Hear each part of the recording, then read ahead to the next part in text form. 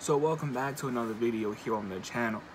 And um, I have some interesting Halloween Kills news. There's been some other little Halloween Kills news here and there I've not reported on because they just seem too spoilerish for me, I haven't really dived into them. This one's really interesting. Jason Blum is at it again, getting people's hopes up. I'm going to put the full article here on screen. And at the top of this, I really want you guys to check out this article because it's kind of hilarious.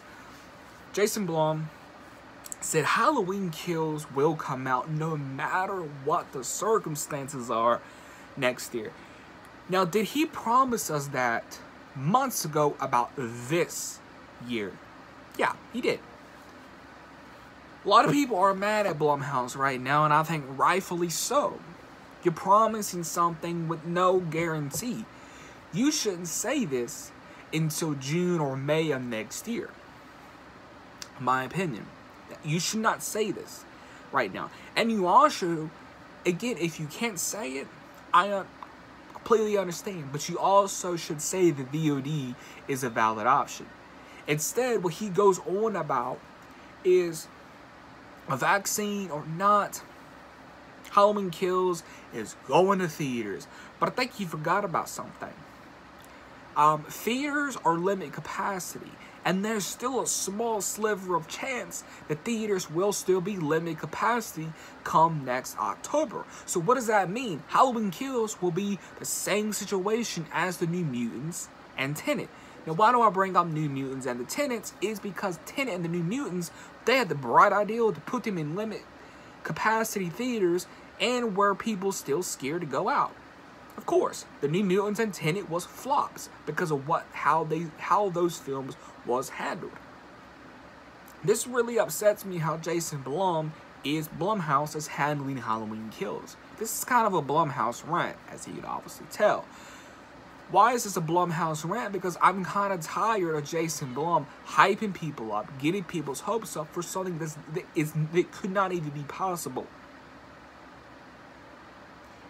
you know, I've said this again. There's positives and there's negatives to Halloween Kills getting delayed next year, but I think a lot of people can't agree. Halloween Kills could have been released this October. You got to think drive-ins are booming right now. They're very popular. Everybody's going to a drive-in right now. Everybody. So why couldn't Halloween Kills go to limited capacity theaters, right? Drive-ins and a VOD release. That's your money right there.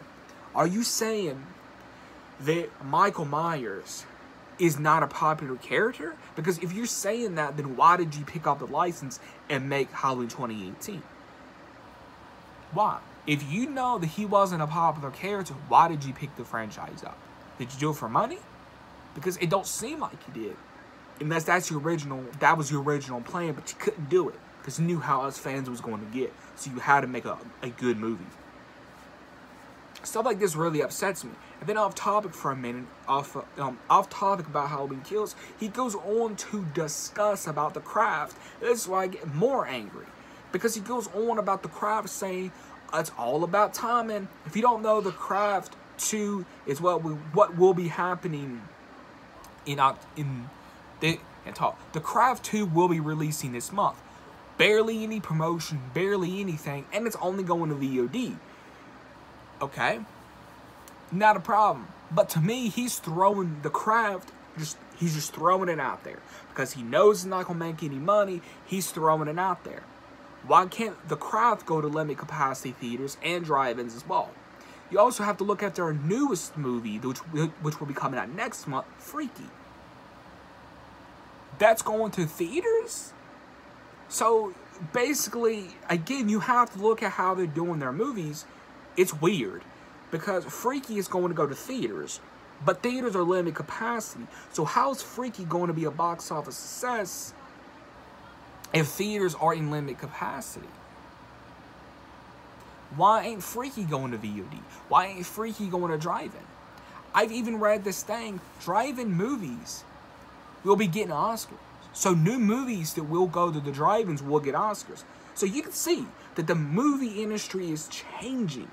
And these theatrical companies and these studios are so behind in the old times. I love the movie theater experience. I love sitting in the chairs with the big screen. I love that whole experience. But times are changing fast, and I think people need to wake up. People's gonna dislike this video. People's gonna hate on the video and disagree with me and say, well, you know, Blumhouse is making the right statement. If that's what you think, totally respect you. But you also need to see where I'm coming from, and that is he's saying he's not holding the movie, but in reality, you are holding the movie. You're promising something to us that you would promise us months ago. You're throwing the craft out there, knowing that it's not going to be a success. That's why you're just throwing it out there and you say it's timing. And then you're doing another movie, Freaky, this year, which you're just going to put in a limited capacity theaters. I don't know why you think that's a good idea. Not only that, he goes on to say he feels like The Craft is a perfect October movie to be released. Excuse me? See, that's where us Halloween fans kind of have to chime in a little bit because he goes on to talk about how the craft is all about timing and the craft is good to release in October, yada, yada, yada, right? So you're saying Halloween don't deserve to be in October. In so many words, I mean, not really, that's not really what he's saying, but in so many words, yeah, he'd rather have the craft release in October. But see, could it be a bigger thing here? Could it be this was their plan all along? I mean, you never know about these studios. Could this be their plan all along? Was to delay Halloween Kills? And they just put the whole coronavirus, the whole COVID thing on top of there so it could be a little bit more believable for people. Because they rather just throw the craft out there this month and just have Freaky out in November. They're already having two movies out this year. If they'd had Halloween Kills come out, that would be three movies for Blumhouse. Think about that. I mean, I mean, it's just a wild theory, but you never know about these movie studios. You never know what goes on in their heads. My thoughts. But I feel like a lot of these theatrical companies and these movie studios aren't ready for next year. There has to be a VOD and a drive-in option. There has to be. If there is not, don't come, you know, don't, you know, don't come, know, you know, you know, don't come complaining to us that the movie wasn't successful. That was your fault because you didn't strategize. I said this, you know, time time again. Movies that will release in January, February, all the way to May, automatically have to have a VOD option. Fast and Furious, that has to have a VOD option. It has to have it. Because I don't, because Pete, people in general think this. After December 31st, a light, you know, a, a um, switch is going to flip and the whole COVID is going to disappear. Life don't work like that. Life will never work like that. A switch is just not going to flip and make everything better. It don't work like that. These studios, these theatrical companies think that. Why? I have no single clue. But why I am mad at Jason Blum and Blumhouse right now is because he's saying he's not holding the movie, but he is holding the movie.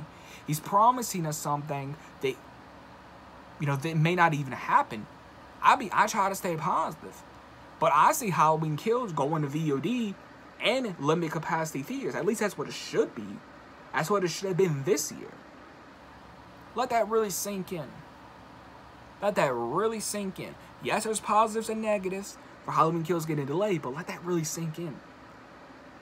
Let that really sink in. Why couldn't Halloween Kills been released this year? Why couldn't it have been released this year? Why couldn't they wait till August to see kind, you know, like mid-August, you know, to kind of see, you know, where things would be. Still, you know, promote the film, but kind of just see, you know, what it, you know, how things would be. No, they had to delay it like that. It's really upsetting to us Halloween fans. I'll put the full, like I said, I put the full article all, ac all across here. I'll put in the top description because I really want you guys to check out this article. Everybody's mad at Blumhouse. Everybody's mad at Jason Blum right now. I think rightfully so. I know we'll get dislikes, and we all have opinions. I have my opinion, you have your opinion. But I feel like how I feel, and as Jason Blum is totally lying. Because how can you go saying, we're not holding the movie, but you are holding the movie because there's so many ways it could be released this year and still make your money, but you want to do it. Then you say that it will go to full capacity theaters next year, but how do you know that? There's so many things. Basically, what Jason Blum said in this article, don't believe it. There's going to be people that believe it. Please, please do not believe it. One single bit. Do not believe it. Do not believe it. I'm telling you, you do not believe it. Because I know there's people like, well, he's right. This is a pandemic. This is a virus. We have no word. We do not know when this is going to go away. It just don't disappear, as some people think that it does. My opinion on this whole situation, us Halloween fans, us horror fans in general, should be mad at Blumhouse. Because how can you, again, go from saying, we're not holding the movie, but you are holding the movie, and there's thousands of ways to release a movie nowadays. The movie industry is changing, but I guess you want to get left behind. You know, AMC, AMC, one of the biggest companies, says they will run out of money by the end of this year. One of the big, then there's just one big cinema company that closed their doors permanently. Let that really sink in. This whole, the whole movie industry is changing, but these theatrical companies and these studios don't want to believe it. They don't want to open their eyes and see what's right in front of them. I can guarantee you, Halloween Kills does not have a VOD option on the table. It don't have a VOD option. They're they're they're thinking, oh, we're going to you know put it into theaters. But see, that's the thing. They they have no choice but to put it on VOD and to put it in limited capacity theaters. You cannot keep delaying a movie. Look what happened to Wonder Woman 1984. That movie kept getting delayed and delayed. Why do I bring up that movie? It's simply because there's no hype for it. Do you hear talk? Do you hear people? Do you hear people talk about the new Wonder Woman? Barely, because there's no hype for it anymore because they kept delaying and delaying it. There's so many big movies out next year as well. So even if movie theaters go back to full capacity, still have that VOD option there for people. Because there's so many big movies coming out next year. Not every single body can see a big movie. Not everybody can see a big movie. They could probably scramble something, you know, you know, for the VOD option. To have that VOD option there for those type of people that cannot afford to see like three movies, you know, three huge blockbuster movies that come out in the same month. Have that option there for people.